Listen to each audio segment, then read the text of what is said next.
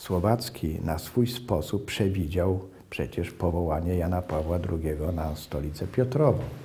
W słynnym wierszu o, o papieżu słowiańskim przecież właściwie można go odczytywać jako pewne proroctwo. Dlatego też i Janowi Pawłowi tak był bliski Słowacki, którego cytował, umiał na pamięć. To zupełnie inna, form, inna e, wielkość, e, powiedzmy, koś, reprezentanta Kościoła. Człowieka, który poza tym, który kochał literaturę piękną, który uwielbiał tą literaturę, znaczy lubił czytać.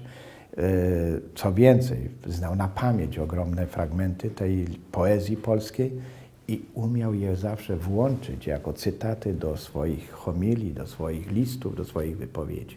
To jest e, dowód jego bardzo bliskiej tej konstrukcji psychicznej jako człowieka, czytelnika, a zarazem jako człowieka, który, który po prostu, y, będąc sam twórcą, umiał docenić innych.